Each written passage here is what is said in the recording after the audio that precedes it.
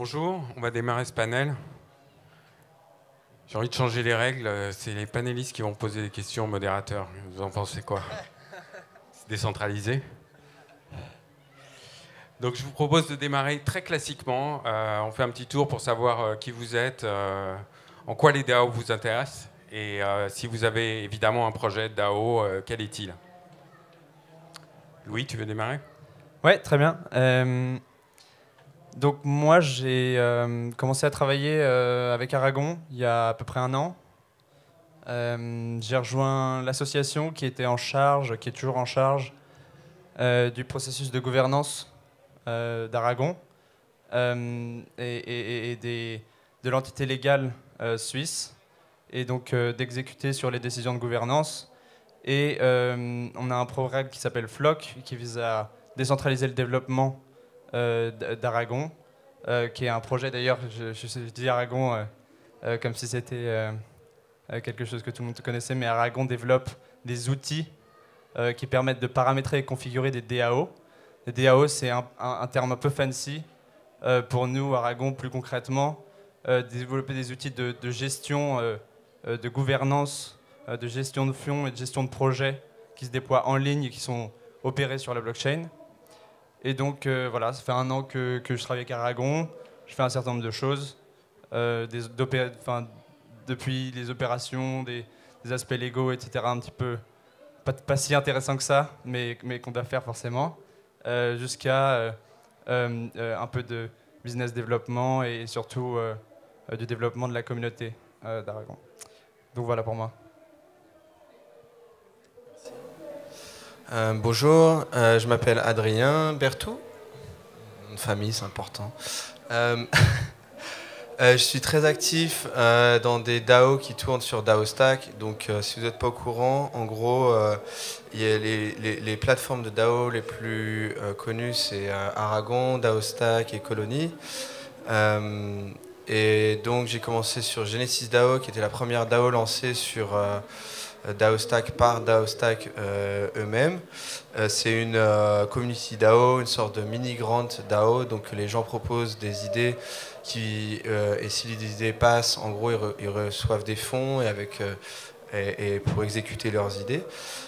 et dernièrement, j'ai rejoint DAOFest, qui est en fait une DAO qui est dédiée à créer des événements à travers le monde euh, pour promouvoir euh, l'éducation sur le thème des DAO, tout simplement. Donc c'est des meet-up en, euh, pragmatique, c'est des meet-up à travers le monde qui sont financés à, travers DAOstack.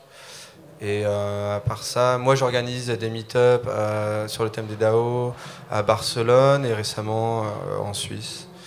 Et je ne suis pas employé de DAOstack.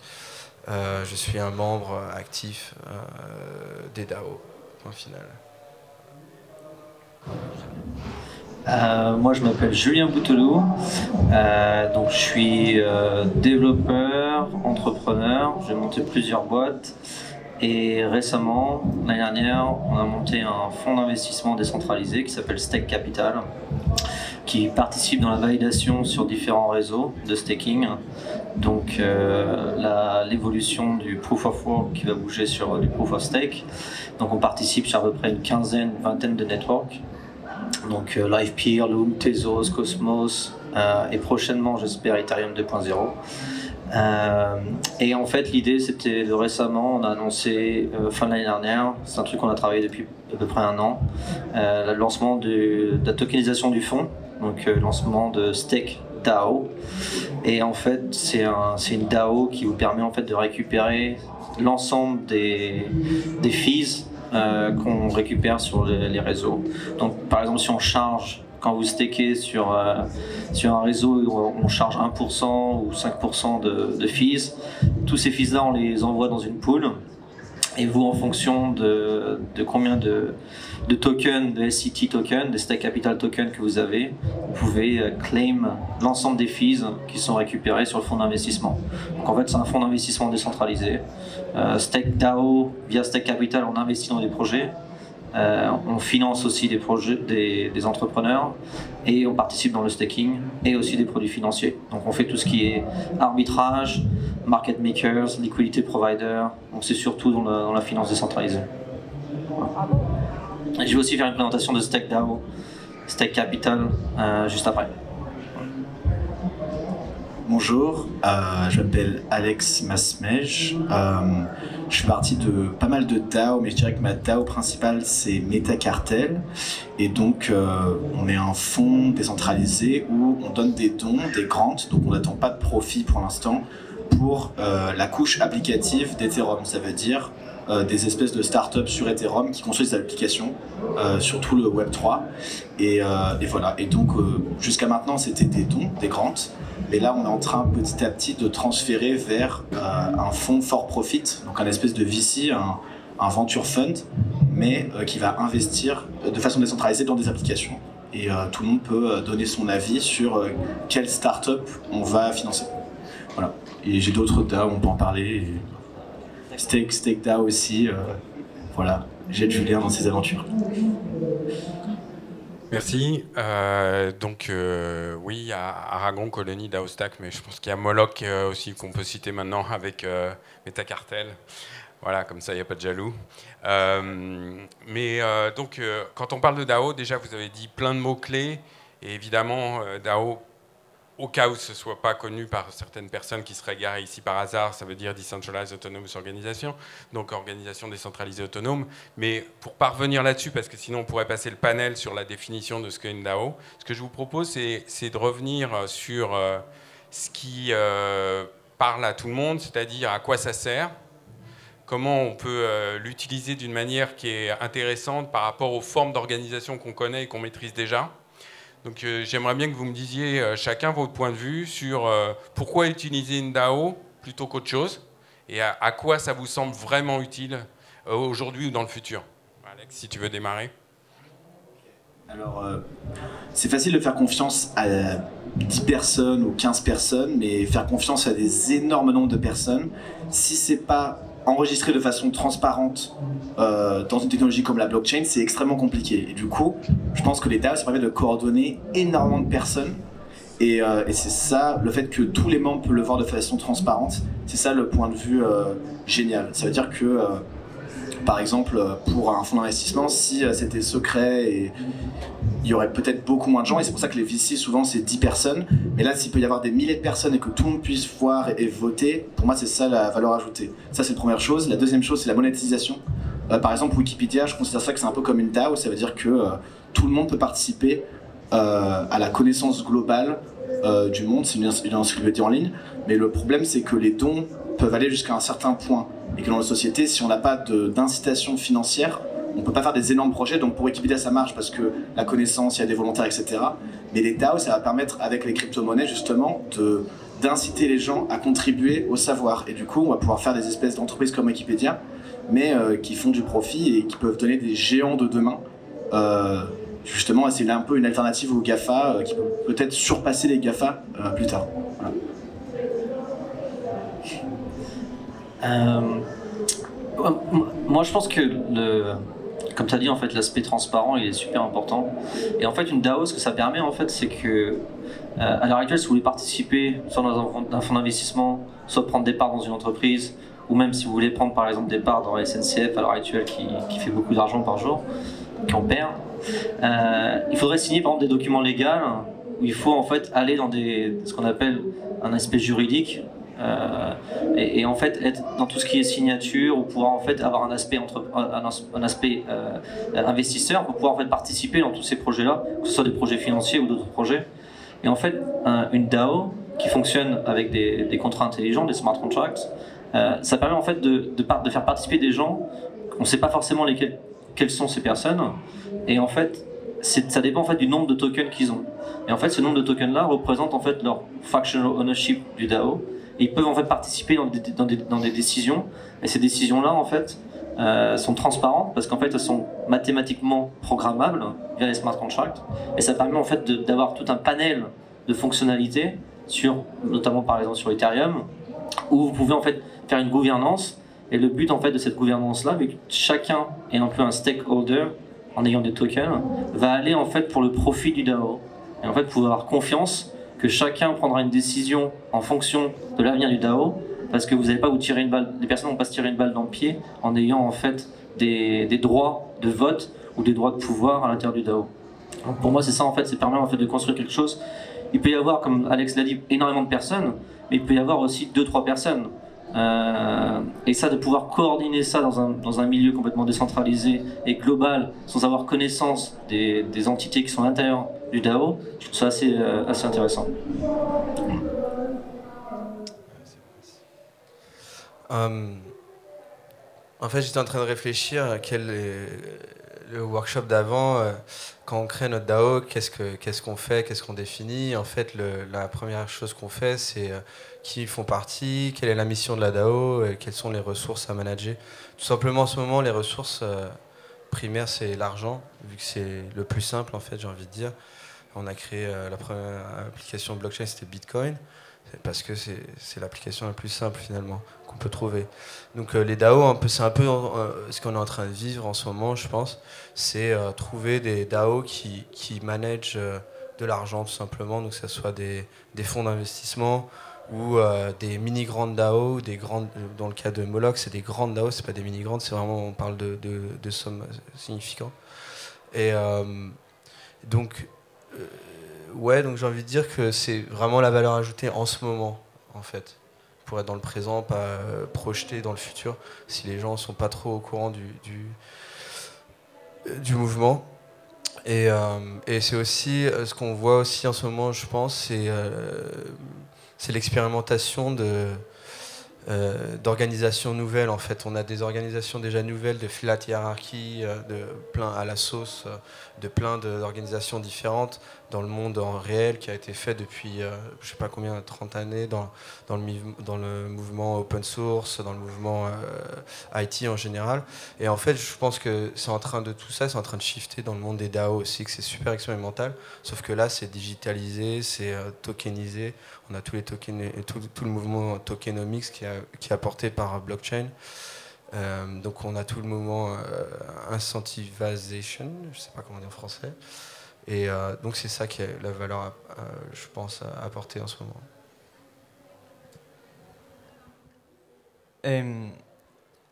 Est-ce que tu me rappelais la, la question? Ouais, vous n'êtes pas obligé de tous répondre à que le le. hein. Vous pouvez aussi ne pas, pas répondre. Ouais, non. Mais la Ouais. question, c'était. euh, Tiens, c'était quoi la question? La question, c'est euh, qu'est-ce qu'une DAO Qu'est-ce que ça apporte par rapport à une organisation traditionnelle voilà. Et par pourquoi en à- utiliser une euh, Pourquoi en utiliser une, etc. Je ne sais pas dans la salle combien de personnes sont familiers avec le concept de DAO. Euh, Peut-être la main. euh, bon, il y a une petite majorité, mais euh, si, pour, pour ceux qui ne sont pas familiers avec ça, c'est quand même un concept assez euh, farfelu. C'est un concept assez théorique aussi. Euh, je pense que c'est un, concept qui est venu éclairer un nouveau pan euh, d'organisation, euh, avec, notamment avec un cas très concret qui était le cas de Bitcoin. Une DAO, c'est un but, c'est un, certain nombre de règles d'organisation. Ça peut être des règles dans le cas de Bitcoin, c'est des règles purement économiques. Donc on contribue à la, DAO Bitcoin en fournissant tel type de travail. Et, donc c'est un ensemble d'acteurs qui vont venir selon ces règles euh, de, travail, contribuer et se faire rétribuer euh, pour avancer vers un but qui est bien défini. Euh, qui n'est pas toujours bien défini, c'est un, peu un débat, ce que, le, but final de Bitcoin. Mais donc voilà, donc et en fait ça, permet, puisque ça, tour- ça tourne sur une blockchain, c'est opération de blockchain, ça permet d'hériter des propriétés de transparence, de sécurité et de légitimité de la blockchain, puisque la blockchain c'est un outil qui transmet, qui permet de, donner une confiance. Donc euh, comme Alex et, Julien l'ont dit, euh, une confiance euh, euh, entre deux parties, euh, sans que forcément il y ait une consci- conscience implicite. Et donc ça permet de Si tu, me permets, euh, c'est un peu, on retombe euh, très vite sur euh, qu'est-ce que c'est quand on essaye de, dire à quoi ça sert. Euh, et toi, justement, tu, tu fais partie d'Aragon, donc c'est sans doute euh, l'environnement dans lequel il y a le plus euh, de projets de DAO. Euh, Qu'est-ce que tu peux nous dire justement sur euh, des DAO, des, cas d'usage qui te semblent pertinents et des choses qui servent en utilisant une technologie DAO?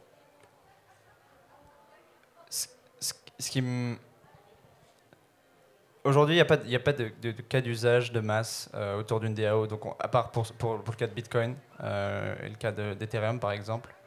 Euh, mais ce qui me frappe, je vais donner un exemple ou, ou, deux très concrets, c'est la capacité donc, de, ces DAO à transmettre cette, propriété de légitimité et de confiance de la blockchain. Et donc typiquement, on a des projets, par exemple on a un projet qui s'appelle Melon Protocol, qui se sert de, des organisations, en tout cas des outils d'Aragon, du coup, qui sont tout simplement des outils de gouvernance, de vote, de gestion de projet, etc., qui opèrent sur la blockchain et qui donc en, en, héritent les propriétés de, sécurité et de confiance euh, de la blockchain Ethereum. Et euh, typiquement, Melon Protocol utilise ça pour euh, gérer sa gouvernance. voter des prises de décision sur leur protocole, les paramètres. Melon Protocol, c'est un, projet qui, qui crée des, outils de, gestion de fonds euh, euh, sur la blockchain, avec la possibilité de créer, des fonds euh, décentralisés. Et, donc, ils ont un certain nombre de paramètres financiers. Et en fait, tous ces paramètres, ils sont votés à travers un conseil qui s'appelle le Mellon Council, qu'utilisent les, organisations Aragon pour voter de manière transparente et légitime des, des, des, des, paramètres et des, changements dans leur protocole, dans leur, dans leur logiciel. Voilà, donc il y a un utilisateur comme, comme, ça, et je peux en donner un, rapide, très rapidement un, second petit. Euh, euh, il y a un réseau social qui s'appelle Reddit, euh, et qui aujourd'hui, il y a un, subreddit qui, s'appelle, qui est dédié au Ethereum, et qui aujourd'hui utilise des donuts, qui sont des espèces de points de communauté qu'on gagne en faisant des contributions sur ce Reddit. Euh, et en, se faisant en fait, euh, en se faisant upvoter par les autres, euh, les autres membres du, subreddit. Et en fait, avec ces points, on va pouvoir accéder à des badges, on va pouvoir acheter des espaces un petit peu de communication, de publicité. Et tout ça, pareil, c'est mis en place sur une, DAO qui permet de tokeniser les points. Et en fait, ce qui est intéressant, c'est que du coup, la communauté peut s'autogérer et, et, elle-même gérer les règles par lesquelles elle fonctionne. Donc ça, c'est un cas très simple. Ok, alors euh, donc moi ce que je retiens c'est qu'il euh, y a d'une part euh, la possibilité d'utiliser ces outils pour voter, prendre des décisions ensemble à grande échelle, et d'autre part il y a une question liée à celle-là qui est celle de l'utilisation des fonds, de l'allocation des fonds, et les DAO semblent être utilisés en tout cas dans une grande partie pour manager des ressources financières, manager des fonds. donc il y a une question qui personnellement me, hante et, euh, je pense que vous devez avoir un point de vue là-dessus, c'est est-ce qu'il est plus efficace euh, de gérer des fonds avec une multitude d'acteurs qui prennent partie dans les décisions d'allocation des fonds? En d'autres termes, est-ce que la décentralisation de ce genre de décisions est plus efficace que de faire appel à un petit groupe d'experts qui euh, sont spécialistes et qui prennent, euh, comme un fonds de VC, des décisions toute la journée là-dessus parce qu'ils ont accumulé de l'expérience. Et je pense que c'est aussi une question qui est importante dans le contexte du peer-to-peer parce que finalement, c'est une question qu'on se pose ici, à savoir est-ce qu'on peut mobiliser de l'intelligence collective de telle manière qu'on aboutisse à des résultats supérieurs à ce que peuvent faire des gens qui sont élus, par exemple, ou des commissions. C'est la même chose que ce qu'on voyait avec la Convention sur le climat, où on a de la démocratie directe et des gens qui sont tirés au sort pour prendre des décisions sur euh, le, climat ou prendre des, propositions de mesures. Donc qu'est-ce qu'aujourd'hui on peut dire euh, sur euh, ce qu'on sait en fait sur l'efficacité des décisions qui sont prises collectivement? Est-ce que c'est encore un espoir? Ou est-ce qu'on a déjà des premiers résultats qui nous font penser que ça peut être au moins aussi efficace que des équipes de spécialistes en petit nombre? Je ne sais pas qui peut répondre à ça. Merci. Euh, en fait, moi j'ai envie de dire qu'il faut arrêter de croire que les DAO c'est magique. Parce que euh, chaque DAO peut choisir son modèle de gouvernance à sa sauce, j'ai envie de dire. Et, euh, et donc c'est ça qui va créer quelque chose qui marche ou pas. Donc comme n'importe quelle organisation non hiérarchique, digitalisé, j'ai envie de dire, peut marcher parce qu'il y a un facilitateur qui est très bon et qui va réussir à, trouver un consensus rapidement. Si euh, ce facilitateur il disparaît, bah, peut-être que ça va pas marcher du tout, ça va, tout va s'effondrer. Et euh, je pense que c'est, pour simplifier le problème, c'est pour dire que les DAO c'est un peu pareil, chaque DAO peut implémenter un modèle de gouvernance différent. Et euh, selon ce, ce, modèle de gouvernance et les, membres de la DAO, c'est ça qui va faire que ça, va marcher ou pas en fait. Enfin, c'est mon, j'ai envie de dire, c'est mon opinion, c'est pas, pas absolu moi, je pense que c'est vraiment magique, la DAO. Euh, c'est vraiment. C'est un truc révolutionnaire, dans le sens où forcément, faut que ce soit bien monté, mais tout est mathématiquement programmable. C'est-à-dire qu'en fait, euh, toutes décisions qui peuvent être prises par la DAO ou des votes, il n'y a aucune façon de tricher. Donc en fait, l'ensemble des décisions, vu que ça réside sur la blockchain, et vu que c'est programmé dans des, formules mathématiques, dans des, contrats qui sont on-chain, ça peut pas être changé en fait. Donc déjà de là on part d'un principe, c'est pas comme dans une entreprise. Une DAO c'est complètement simple. Une DAO c'est une, organisation comme on l'a dit, elle est décentralisée parce qu'en fait chacun dans le monde entier peut avoir des participations en cliquant sur un bouton, en achetant des tokens et avoir des participations à la DAO. Et ensuite peut décider en fonction de son pouvoir de vote le futur de la DAO. L'autre point, c'est magique parce que oui, ça permet en fait de transparentement savoir ce qui se passe, toutes les décisions mathématiques, des, toutes les, les, différentes euh, moyens de gouvernance. Par contre, ça peut être aussi, faut savoir en fait quelle est l'intention des gens qui sont dans la DAO. Ils peuvent très bien prendre, la DAO peut très bien évoluer dans un truc qui soit peut-être euh, dangereux, parce qu'en fait, ils veulent capturer énormément, je sais pas si c'est un fonds d'investissement, ils veulent capturer, devenir extrêmement gros, mais ça en fait c'est un peu dans la définition d'un fonds d'investissement, ils veulent devenir extrêmement gros. Donc après, ce que je veux dire en fait c'est que pour moi c'est magique, ça dépend comment c'est construit, ça dépend comment ça implémenté, mais sinon ça réside vraiment sur, sur un système de blockchain. Euh, et il l'a dit tout à l'heure, euh, euh, les deux plus grosses DAO à l'heure actuelle, c'est Bitcoin, Ethereum. En fait, c'est des DAO en fonction du pouvoir avec les miners, les, mineurs qui minent les transactions à l'heure actuelle. Qui maintenant on va évoluer sur de proof of stake, donc on va évoluer en fonction du nombre de personnes qui ont combien de tokens et qui peuvent prendre des décisions sur le futur d'Ethereum 2.0 par exemple. C'était mon point.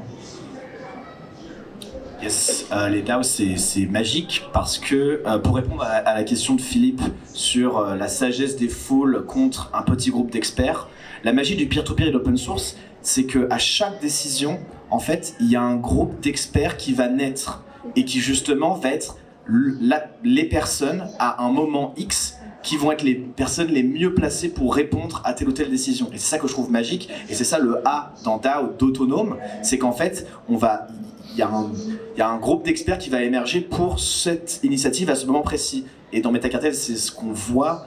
Euh, on ne croit pas beaucoup aux analyses qui sont assez objectives, enfin qui se pensent être objectives, mais qui sont au final plutôt subjectives. Et, euh, et tout le monde fait un peu de due diligence et regarde quelle startup sur Ethereum on va investir dedans. Et, euh, à chaque fois, il y a le codeur, le marketeur, celui qui connaît plus DeFi, la, la, finance centralisée, celui qui connaît plus les autres DAO ou les, les diaps de réseaux sociaux, etc. Et donc il y a toujours un groupe de personnes qui va euh, euh, émerger. Et on voit ça aussi avec DAOstack d'ailleurs, qui a le consensus holographique. Et en gros, euh, je pense que tu vas mieux l'expliquer que moi, mais on, peut avoir des proposals qui sont boostés par des paris, en fait, des marchés de prédiction. Et du coup, les personnes qui sont les mieux placées pour savoir vont être celles qui vont guider la foule. Et donc, euh, même dans DAOstack, il y a un processus euh, de DAO magique, entre guillemets, qui n'est pas possible avec euh, des groupes d'experts traditionnels. Moi, je voudrais dire qu'on parle de Bitcoin en tant que Magic Internet Money. Donc, en fait, les DAO, c'est Magic Internet Organizations. Non? Voilà, voilà. Non. Qui connaît en fait GitHub? Vous êtes pas mal vous participez beaucoup dans les open source sur GitHub. Et en fait, prenez GitHub et vous ajoutez en fait un concept monétaire sur GitHub où en fait chaque projet dans lequel vous participez, vous êtes reward en token et ces tokens là vous donnent en fait des décisions sur le futur du projet dans lequel vous avez participé. Tout ce que le projet va générer en termes d'argent, vous allez récupérer aussi. Vous allez pouvoir aussi prendre des décisions sur les prochains commits, sur les prochains pull requests, et ça dans un moyen complètement décentralisé, sans mettre votre nom. Euh, en fonction de votre pouvoir de vote dans ce projet open source. Ok. les, DAO, ça monétise l'open source en fait. L'open source, pour l'instant, c'est des développeurs qui gagnent pas vraiment leur vie parce que euh, ils se dédient à ça, c'est leur side project le week-end. Mais là, on va pouvoir monétiser l'open source et ça va débloquer, je pense, des choses énormes.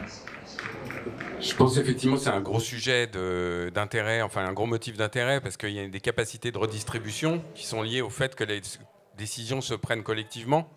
Et donc du coup, forcément, euh, on va avoir une plus grande possibilité de prendre soin de tous les gens qui votent à partir du moment où ils ont euh, euh, skin in the game, qu'ils ont, qu'ils ont à la fois un intérêt et une part dans les décisions. Mon, ma question était plus sur euh, la capacité effective. À un moment donné, certains, l'un de vous a dit qu'on euh, pourrait imaginer des grandes DAO qui un jour euh, rivalisent avec les géants de l'Internet. Donc pour ça, il faut avoir une capacité d'exécution aussi colossale et performante que des Google et des Facebook. Et la question qui se pose, c'est que est-ce qu'on est capable, de façon collective, décentralisée, de décider aussi facilement, aussi efficacement que, ces géants-là?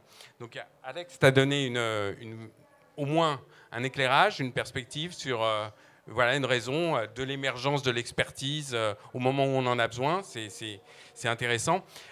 Peut-être, Louis, tu pourrais nous dire ce que toi tu as vu, parce que en termes de d'expérimentation réelle de gouvernance décentralisée sur un projet avec les votes du process de gouvernance d'Aragon, il y a vraiment de l'expérience depuis plus d'un an maintenant. Euh, autour d'un projet qui est collectivement décidé par euh, tous les détenteurs de tokens. Qu'est-ce que tu peux nous dire de ce qui marche bien, ce qui marche euh, moins bien dans, ce que vous avez expérimenté? Ouais. donc, Aragon, depuis un an quasiment tout juste, alloue les fonds que le projet a levé il y, a trois ans via une ICO à travers un, processus de, gouvernance euh, qui s'appelle euh, les Aragon Governance Proposals, donc des propositions de gouvernance pour Aragon, et qui, a lieu tous les, trimestres et, qui, et à travers lequel en fait n'importe qui peut proposer donc il y a un, framework avec des, avec il y, a, en fait il y a un cadre avec des, tracks différentes catégories euh, euh, auxquelles on peut soumettre des propositions. Donc ça va être des propositions par exemple euh, financières pour allouer des fonds à un projet qui souhaite développer des applications sur Argon, qui souhaite développer des features, etc. donc c'est comme ça qu'on s'est organisé pendant un an maintenant. Et, et, en fait, la décision, en tout cas, c'est ce, ce que je voulais souligner dans ce que Philippe disait et ce qu'on dit en général. Euh, il y a un peu une obsession à faire un parallèle constant. Est-ce qu'on va pouvoir réaliser sur les, cas d'usage qui existent aujourd'hui avec les GAFA, avec les fonds d'investissement, etc., avec ces nouveaux outils qui, que sont les DAO, qui sont des nouveaux outils d'organisation, etc. Euh, et, c'est difficile. C'est difficile de, d'avoir des, avis, des expertises et de prendre des décisions de, euh, de manière collective aujourd'hui euh, que ce soit avec les outils qu'on a aujourd'hui et les mentalités. Nous, on, faisait ce processus de gouvernance sur un forum, donc euh, n'importe qui pouvait. Euh, il y avait un a, un certain template et format à suivre pour, pour soumettre une proposition, mais n'importe qui peut formuler une proposition et la soumettre. donc, donc il y a des, équipes entières de, de 5-10 personnes qui se sont proposées, qui ont dit moi je veux un million de dollars pour développer euh, telles et telles applications Aragon qui vont permettre des nouvelles, des, nouvelles méthodes de vote, des nouvelles méthodes de gestion de projet, des nouvelles euh, méthodes de gestion de, primes pour gérer des organisations décentralisées. Et en fait, il s'agit du coup après de faire un processus de due diligence, etc. Et c'est un processus qui, aujourd'hui, moi, je ne pense pas qu'on soit en mesure aujourd'hui de rivaliser avec des fonds euh, traditionnels parce que les fonds traditionnels, c'est des, structures qui sont très centralisées, qui, bénéficient, en tout cas quand on parle de quelque chose comme le VC ou, les hedge funds, etc., où c'est des concentrations de pouvoir, qui ont beaucoup d'informations, avec beaucoup d'asymétrie, avec des gens qui travaillent à plein temps et qui sont, hautement qualifiés euh, pour faire des, analyses, etc. Et donc, euh, pour moi, il y a un gros il y a un gros projet, il y a un gros, euh, il y a encore, ouais, on a beaucoup de routes à faire pour construire tous ces outils qui permettent de leverager toute cette intelligence collective. Aujourd'hui, c'est des débats, il y a beaucoup de frictions, c'est difficile de, de vraiment comprendre bien euh, euh, ce que tout le monde souhaite, ce que tout le monde est de, de, en fait de, depuis les intentions jusqu'à euh, l'itération, l'implémentation dans des, dans des décisions concrètes. Tout ce, tout, ce processus-là est difficile encore aujourd'hui. C'est quelque chose qu'on découvre et en fait, c'est tout ce que fait Aragon, c'est de, créer des outils pour qu'on puisse fonctionner de plus en plus sur cette base-là. Mais aujourd'hui, pour moi, c'est encore quelque chose de très très difficile. Donc, si faut répondre concrètement, aujourd'hui, non, pour moi. Ok, merci. Euh, je vais garder un peu de temps pour des questions dans la salle. Je vais vous poser encore euh, deux, trois questions euh, rapides. déjà, une question toute simple pour essayer d'être un peu plus terre à terre. Est-ce qu'aujourd'hui, on peut gagner sa vie en interagissant avec une DAO Est-ce que l'un d'entre vous a gagné de l'argent en étant utilisateur d'une DAO Je ne parle pas de créateur, ou d'être employé par une société qui a fait une ICO, mais vraiment en interagissant avec une DAO. Et euh, est-ce que vous connaissez des gens qui euh, aujourd'hui euh, peuvent en vivre? Oui, alors dans l'écosystème Moloch DAO, donc il y a un designer qui s'appelle Darren Mills qui a designé le logo de Lightning, c'est un protocole sur le Bitcoin et en fait qui fait du design pour euh, Marketing DAO, Moloch DAO. Il a fait des t-shirts, il est aussi à Metacartel et euh, je le connais très bien et il gagne sa vie en ce moment en tant que freelancer DAO en fait. Et euh, voilà, donc c'est assez intéressant comme histoire. Je ne sais pas s'il y en a d'autres dans d'autres protocoles, mais en tout cas dans Moloch ça marche. Moi par exemple je participe dans des, dans, dans des DAO, par exemple MakerDAO. là en tant que euh, en fait, on est récompensé dans le MakerDAO avec tout ce qui est liquidation sur, le, sur les, CDP qui sont créés. Euh, donc ça, voilà, c'est une participation sur, sur une DAO qui peut aussi rapporter. Euh, tout dépend en fait de combien de, tokens vous avez, mais ça, rapporte pas mal. Combien? Ça dépend de combien de makers vous avez. Ça, c'est, si vous participez aussi en stake DAO, ça, potentiellement, vous pouvez récupérer, si vous stakez, vous pouvez récupérer des fees euh, et aussi faire un revenu, un, revenu passif. J'ai entendu dire qu'il y avait des, des, tokens Alex, des tokens Julien. On peut gagner quelque chose aussi avec? Bien sûr, on, a, on a nous de nos tokens. D'ailleurs, on peut en offrir aux personnes qui veulent, je pense. Et euh, personnellement, mon token il sort sur euh, Uniswap. C'est une plateforme pour les tokens. Le 15 janvier. Donc, mais on peut en donner avant en moins cher, euh, avec des réductions et tout. Euh, voilà. Surtout pour les gens qui sont venus euh, au panel. Surtout pour les gens qui se sont déplacés pour nous voir, franchement, merci. Ouais, si vous tweetez, la présentation de tout à l'heure, hein. si vous tweetez sur, sur mon Twitter ou Twitter d'Alex, je pense qu'on peut vous airdrop. Donc airdrop, ça veut dire en fait qu'on vous envoie des tokens qui sont à nous, qui sont sur la blockchain, potentiellement, légalement, n'ont pas de valeur monétaire, mais en fait, vous pouvez très bien les acheter ou les revendre. Et ça dépend après de ce qu'on fait. Par exemple, moi, tous ceux qu'ils ont, pas tous ceux, euh, mais euh, une bonne partie de gens qui ont, euh, récupéré des Julien tokens, je leur ai offert des, Ledger Nano X, donc à peu près une centaine d'euros gratuits. donc voilà, on peut, on peut soit gagner en participant à une DAO ou soit investir dans un. Et en fait, potentiellement, ce que ça peut faire, en fait, c'est vous pouvez DAOniser votre profil, en fait. Vous pouvez très bien vous transformer en tant que euh, personne à capital. Euh, voilà. Et ce que aussi Alex a pas mal discuté ça en ligne. en fait, c'est que les tokens Julien, il y en a à peu près 100 millions. Je crois que même 10 millions. Euh, pareil pour Alex. Et en fait, en fonction de, distribution qu'on a fait, je crois que j'en ai déjà distribué un truc comme 50 000 ou, ou 100 000 tokens. Et en fait, je peux très bien décider, bah voilà, en fonction de ce que vous voulez que je fasse euh, si je vais par exemple, je sais pas, à Paris ou Londres, j'étais à Londres ce matin, ce que vous voulez que je fasse à Londres, en fonction du token, vous votez et euh, je vais faire, je sais pas, je vais offrir 10 euh, heures de mon temps cette semaine pour vous teacher, pour vous enseigner comment utiliser, monter une DAO sur, sur Ethereum en utilisant Aragon ou DAO Stack, où vous pouvez très bien, où je vais vous je vais sélectionner au hasard toutes les personnes qui ont plus de 100 Julien token et je vais leur envoyer un Ledger Nano ou plein de choses comme ça en fait. Et en fait, vous devenez, les gens deviennent en fait euh, stakeholder de, de Julien, quoi, de moi. Voilà une autre forme d'organisation, une organisation c'est un DAO, c'est multicellulaire. 10 euh, millions, 10 millions de tokens. Donc euh, je vous conseille de, de vous dépêcher. Quoi.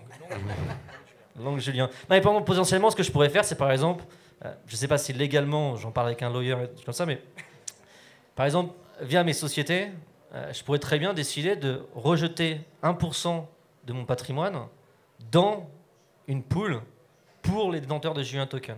Ce qui se ferait, en fait, ça ferait une distribution de ma, fortune, ma fortune, entre guillemets, aux tous ceux qui, sont détenteurs de Julien Token. Et c'est ce que je fais bah, via des trucs, euh, des gifts, parce que légalement, on peut offrir des trucs. Mais euh, via la pool Uniswap que Alex va être aussi en live, je pense que moi je vais être en live un petit peu plus tôt d'ailleurs. Ok, merci Julien. Euh, évidemment, pool de Zoel. Hein. C'est- Ah oui. Euh, C'est pas, un coq. pas- Je pense qu'il y a un autre Adrien dans la salle qui voudrait un token. euh, Un, to- un token Adrien tout. Euh, on va terminer. Vous avez évoqué à plusieurs reprises, là, je, je viens d'entendre encore une fois euh, dans ta bouche, euh, Julien, le, le fait de est-ce que c'est légal ou pas? On va terminer là-dessus avant Grosse de passer la parole. Ouais. Qu'est-ce qu'on peut dire rapidement sur la légalité? Euh, des DAO ou le fait de travailler avec une DAO Est-ce qu'aujourd'hui on risque quelque chose Euh, Soit en créer une, en programmer une, en libérer une dans la nature, ou euh, simplement en travaillant pour une DAO et en étant payé ou en ayant un rendement financier avec une DAO? Alors, je, vais présenter D-Org. Donc, c'est une DAO qui tourne sur DAOstack aussi. Enfin, après, euh, rien ne les empêche de switcher à autre chose. Euh, ce, qui- le, euh, le point important, c'est que c'était la première DAO qui s'est déclarée officiellement en tant que limited company aux États-Unis dans le Vermont. C'était il y a environ un an de ça, je crois. Et d'ailleurs, en fait, juste pour expliquer, c'est une DAO composée de développeurs. Donc c'est un dev studio qui a décidé de switcher à, à une, formation euh, digitalisée. Et euh, ils n'ont pas de compte en banque en fait. Tout passe en crypto. Donc ils se font payer en crypto par leurs clients qui sont euh, des, entités euh, euh, diverses. Et, euh, et euh, euh, les, membres de la DAO, donc en fait euh, les développeurs, se font payer euh, à, travers, à travers la DAO euh, en crypto. Donc je pense que c'est majoritairement en DAI ou en Ethereum. Donc euh, voilà, eux ont résolu ce problème et a priori euh, n'importe qui peut euh, suivre leur chemin parce que ils ont, publié sur GitHub tous les documents légaux et vous pouvez le forquer, modifier, dupliquer, partager. c'est open source. Voilà. Et euh, même si vous n'êtes pas américain, vous pouvez euh, créer euh, cette entité. Je pense que c'est un peu plus compliqué que tout le monde peut créer une DAO. Ça dépend en fait ce que votre token va être utilisé pour. À, quoi votre token va être utilisé. Par exemple, énormément dans le staking à l'heure actuelle, il y a beaucoup de questions qui se posent de savoir si le token que vous stakez, vu qu'en fait il vous crée un revenu passif, ça pourrait être considéré légalement comme une sécurité. Donc en fait, je pense en fait ça dépend vraiment de, votre, euh, de votre projet. Si vous avez vous avez euh, l'envie ou le besoin de créer une DAO, je pense qu'il faut vraiment vous consulter un- un- un- un- une entité légale parce que c'est- obligatoire. Ne vous lancez pas dans la création d'un token. En fait, le problème, en fait, c'est de lancer un token et de le vendre. Dans un premier temps, déjà, c'est un peu compliqué. Euh, mais sinon, oui, demandez à quelqu'un d'une entité légale de vous dire si c'est si OK ou pas. Quoi. Oui, là, c'était dans, dans le cas spécifique de cette, euh, de cette formation. C'est sûr que c'est après, ça dépend, c'est du cas par cas. Euh, Vous lancez pas à faire votre, votre DAO et après vous retrouvez attaqué en justice. Et, euh, Ouais. Parler à un, à un lawyer, un avocat, non? Je sais pas comment on dit. Mais bref, euh, avec euh, Moloch, on a développé Moloch V2 en partenariat avec OpenLaw. C'est euh, l'arme légale de Consensus, qui est une des plus grosses boîtes dans Ethereum. Et, euh, et euh, oui, les, sécurités tokens, donc, euh, qui sont extrêmement réglementées aux États-Unis, nous empêchent dans les LAO, donc Legal Autonomous Organization, euh, qu'on a développé en partenariat avec Consensus, en- nous empêche d'avoir des investisseurs non accrédités. Donc on peut avoir des employés, donc des gens qui ont moins de 5 millions de dollars, mais sinon on peut pas. Mais heureusement la SEC, qui est l'autorité américaine euh, financière, apparemment est en discussion pour baisser ce taux, et donc ça nous aiderait beaucoup en tout cas pour euh, justement les espèces de VC décentralisés, d'investisseurs décentralisés, pour que n'importe qui puisse mettre 100 dollars et participer un tout petit peu et aussi collecter les profits. Mais pour l'instant, c'est super expérimental. Mais le code, comme Diorg est open source. Euh, vous pouvez le voir, c'est sorti la semaine dernière. Et donc, vous pouvez créer votre identité, votre entité pardon, légale, LLC. C'est pas à Vermont, c'est à Delaware chez nous. Mais euh, Vermont, je sais qu'ils sont aussi très forts légalement euh, sur les DAO. Bref. Et donc, la blockchain, en fait, c'est enforçable légalement. C'est-à-dire que Ethereum est vraiment la settlement layer Euh, on s'adapte évidemment aux lois, donc il y a des super admins qui sont les personnes légales, mais à part ces quelques modifications, c'est vraiment Ethereum qui est la dernière couche. Voilà. C'est bon? Bah, Je vous propose de laisser un peu d'espace euh, au public. Est-ce qu'il y a des questions pour euh, le panel? Aucune question. Pas de questions? Tu peux te rapprocher.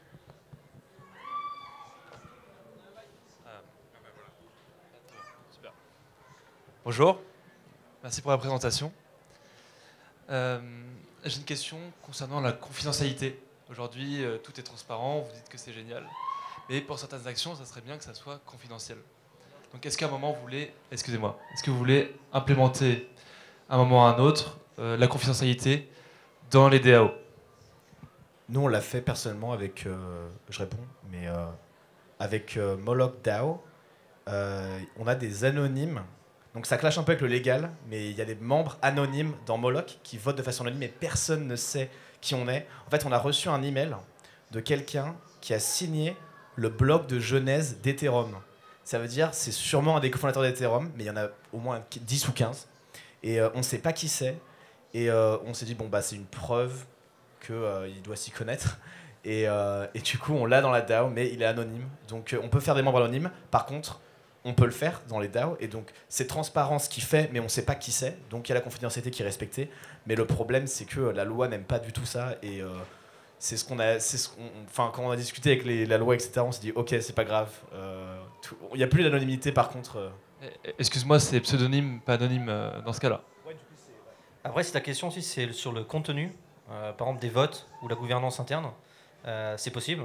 Il y a des technologies euh, qui peuvent être implémentées, euh, euh, des modules qui peuvent être pluggés sur, Ethereum, par exemple du ZNARC, des choses comme ça, Zero Knowledge Proof. Ce que tu pourrais très bien faire, en fait, c'est poser une question qui est complètement encryptée. Seules les personnes qui, ont, qui sont dans la DAO pourraient lire le vote et voter. Après, ça peut poser sûrement des questions légales parce que tu vois que le, le DAO évolue et prend des décisions, mais complètement, en fait, personne à l'extérieur de la DAO ne peut pas savoir ce qui se passe. Donc, ça pourrait être une entité euh, euh, limitée avec des gens qui ont une interaction sur la DAO complètement décentralisée, mais les gens à l'extérieur de la DAO ne pourraient pas savoir ce qui se passe à l'intérieur. C'est possible, mais même à l'heure actuelle, tu peux très bien l'implémenter. Il n'y a aucun souci. Et déjà, même sans avoir du ZNARC, tu peux très bien encrypter un message où seulement les personnes qui sont dans le ledger de la DAO peuvent lire le message. Et après, tu votes. Un vote, c'est c'est oui ou non. hein, donc, euh. Ok, merci. Une autre question?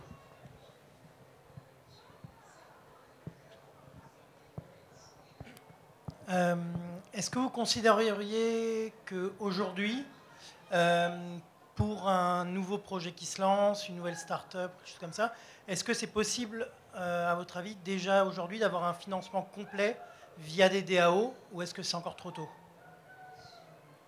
Euh, bah, oui, c'est un projet qui, est DAO. Le mieux, je pense que Alex qui peut répondre, mais tu, tu fais un proposal sur la Moloch DAO et.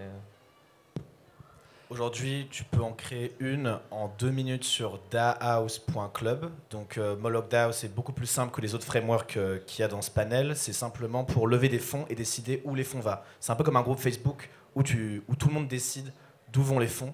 Aujourd'hui, je peux le faire en deux minutes, mais euh, je pense que ce panel, enfin, l'audience est un petit peu éduquée sur la technologie et tout, donc euh, vous pouvez le faire. Mais on essaie vraiment de faciliter ça. Cette année, on a des projets pour faire des espèces de chatbot Telegram euh, où tout le monde pourrait voter avec le chatbot et déposer des ethers dans une adresse. Donc on essaie vraiment de faciliter ça, d'apporter du no-code aussi pour que les gens qui ne savent pas coder puissent le faire. Mais euh, pour l'instant, c'est assez expérimental. Mais je pense que cette année, il y aura des gros changements. En fait, tu vas être accepté si en fait ils vont, vouer, ils vont voir dans ton projet que ça va participer dans l'évolution de soit d'Ethereum ou soit de la DAO, qui est la DAO Moloch ou notre DAO. Donc ouais, tu, tu peux créer.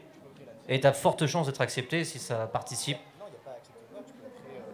Non, mais je veux dire euh, d'être, euh, d'être- d'être- d'être- de recevoir l'argent quoi. Ouais, d'être approved quoi. Louis, tu veux ajouter? Euh, euh, je me demandais si ta question c'était plutôt euh, euh, de, de- de recevoir des fonds d'une DAO. euh, de recevoir des fonds, ok. Euh, euh, bah, comme, ouais, comme Julien et euh, Alex disaient, euh, en fait, aujourd'hui recevoir des fonds d'une DAO, bah, ça dépend de ce que la DAO fait et de pourquoi tu reçois des fonds. hein. Euh, ce qu'il y a aujourd'hui le plus dans la communauté Ethereum et donc, enfin, vu, que- les DAO se limitent souvent à la communauté Ethereum, ce qu'il y a le plus aujourd'hui, euh, euh, c'est en effet des espèces de gr- grants programs euh, où tu, tu, tu viens avec un projet et pour peu qu'il soit à peu près aligné avec la mission de cette DAO, donc Moloch, dans, dans, dans le cas de Moloch, développer des technologies Ethereum, Ethereum 2.0, etc. Euh, euh, dans le cas d'Aragon, typiquement, il y a pas mal d'équipes qui sont venues nous voir en nous disant bah, nous, on a un tel projet, on est aligné avec Aragon sur un certain nombre de choses.